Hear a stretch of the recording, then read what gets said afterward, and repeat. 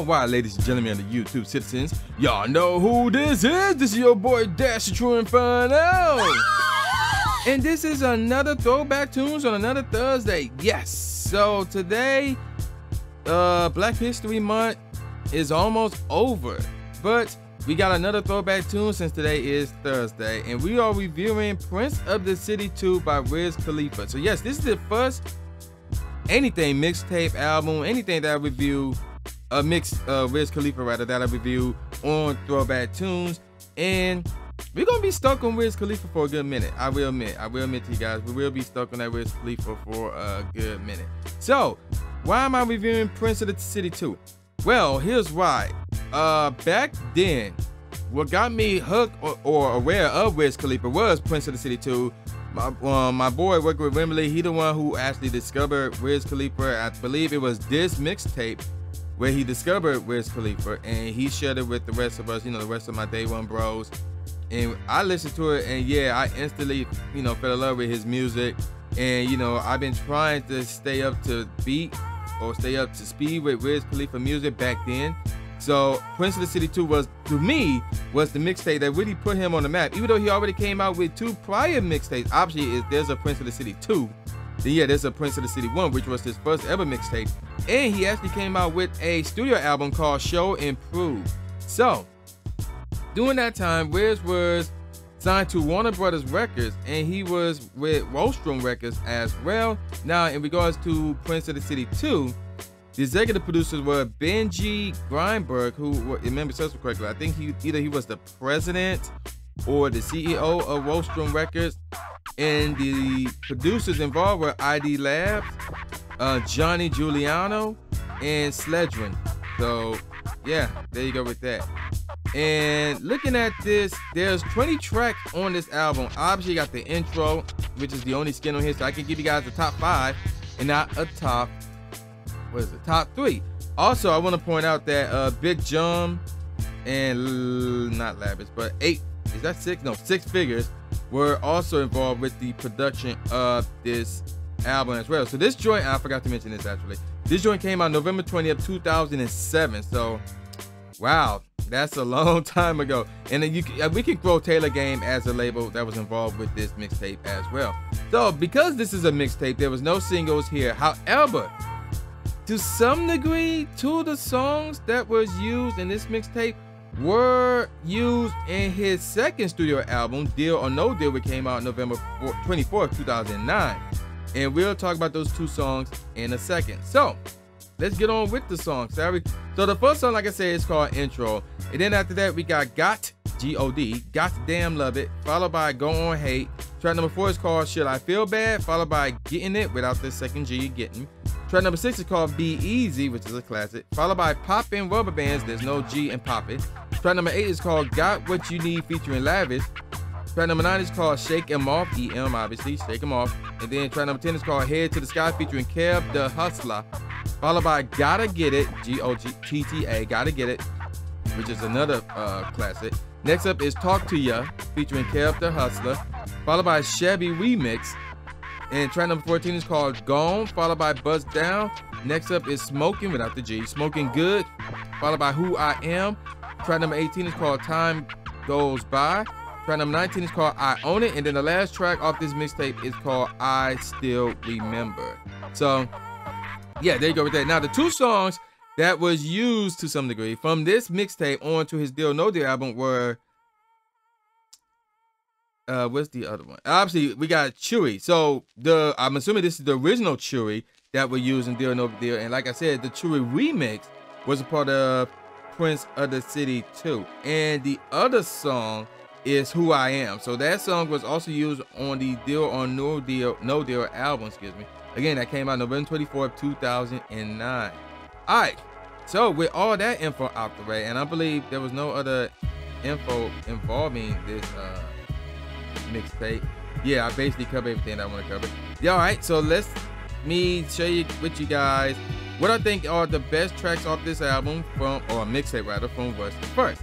So here's where things get interesting. Getting it, even though the beat is cool, the snare's okay. I probably would have different snare, but overall the beat is cool, so I like it. This is the worst track off this album only by comparison. I'm not saying the track is garbage. Is track no, no. The beat is cool. The track is cool, but in comparison to every other track on here, this is the worst track off the album, just by comparison only. So you know this is going to be a good mixtape right here. I'm letting you know right now, this is going to be a good mixtape right here. How good? Well, you're about to find out. Next up is Poppin' Rubber Bands. You know, the beat is cool. I like the drums here, so, you know, it's a cool beat. Next up is Bust Down. Again, the beat is cool. And in this case, the drums really made this beat. You know, the drums really made this beat. Then we got Shake 'em Off. You know, got a unique drums here, so I like that. The melody was cool here. The beat was cool overall. Now, everything else that I'm about to name are really good or above. I own it. The drums are really cool with the melody here, so I really like that joint. Got what you need. The drums made this beat, which are really good. The melody was still cool though, nevertheless, but the beat was really good. Time goes by. This is a semi-mellow track. Like the drums here and the melody, obviously. Really good track right here. Smoking good. This beat is hard, man. And if they would have added a harder snare alongside with the claps that they use here, would have made it so much harder. Probably would have cracked my top five. Maybe. I don't know. The melody is on point here and the beat is really good. Gone. That track is dope as well. You know, the drums really made this beat. The melody was cool though, nevertheless. The beat is really good. Head to the sky. You know, I like the melody. The beat is really good, and I like the drums used here. Got damn love it. Semi-hype joint, really good. Really like that one. Should I ah, should I feel bad? I really like the sample used here. You know, really good track, and the drums are good here as well. And then I still remember, like I like this is the irony of this uh the name of this uh track. I still remember. Because i completely forgot about this track. This is a dope track right here. Really like the drums and the melody. A semi-mellow track really really dope. And then be easy which is a classic. Like if you follow wiz khalifa for a long time you should know about be easy. This is a classic really hard track. Really like the melody. Really like the drums. But it's the sixth best track off this mixtape. So i'm about to give you guys my five top tracks off this album Fifth best track off this mixtape, rather. Fifth best track off this mixtape is Go On Hate. Excellent beat. The melody is dope. Really like the drums here. And this would sound really good if it was performed live. Like I, I have been to a Wiz Khalifa concert before. He haven't he didn't perform this song there, but you know, it would have been dope as if he did, man. Fourth best track off this mixtape is Talk to You featuring Kev the Hustler. I like the like let me explain something to you guys real quick. The top four tracks off this uh, mixtape I listen to to this day, and this joint came out back in 2007. So that tells you how good these tracks are. These uh, next four. So talk to you. Really like the melody and the drums, and this is a chill beat, man. Really like this joint. The best track off this mixtape, gotta get it. The beat is smooth. I still again listen to this to this very day. Really like the melody and the drums. But I will be honest, even though this is smooth and I really like it, I have played around with this beat and I turned the tempo up and it sounds better with the faster tempo. I, I will admit I did I did do that. I did do that. Chevy Remix is the second best track off this mixtape. Excellent beat. This is one of my all-time favorite Wiz songs right here. And again, I listen to this to this very day. But the number one Wiz Khalifa track off of this mixtape is Who I Am. This joint is really smooth. I see why he put this in his Deal No Deal album. This joint is really smooth. Again, I listen to this to this very day. This is another one of my favorite Wiz Khalifa songs. The melody is on point. This is an excellent beat. Now, unfortunately, there's no professional ratings that I could find. But a lot of people, based on datpiff.com, really like this mixtape. They really like this mixtape. So again, there's no professional ratings for this mixtape, unfortunately. So I can't really give you guys a professional rating. So what do I think about this mixtape? Okay, I'm not gonna beat around the bush here. Wait, wait, yeah, yeah. I thought I saw some ratings, but never mind. But let's get back to my rating. I'm not gonna beat around the bush here. This is a five out of freaking five. Like without question, this is a five out of freaking five right here. You should have this mixtape in your collection.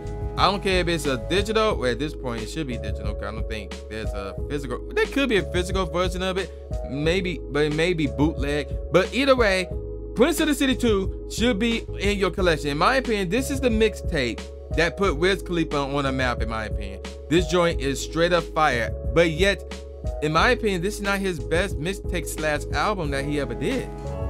And that's saying a lot, man. But it's up there. It's really, really up there. He came out with a bunch of good stuff. You know, from that point, like Star Power was good, Flight School, Burning After Rolling, and oh my gosh, Kush and Orange Juice. Oh my gosh. And if memory serves correctly, I think Cabin Fever was good and Taylor Allderdice was good as well. But man, that Kush and Orange Juice, I can't review that yet. We got ready another year for that one. But yeah, Princess City 2, that is like one of his best mixtapes that he did, one of the best anything that he did, really. And I recommend that you have this in your collection. This is a flat out five out of freaking five. So, with all of that said, y'all know who this is. This is your boy, the new Jay Gatsby, aka the new Stephen A. Smith, saying peace out, y'all, and I'll see y'all next time. Yeah.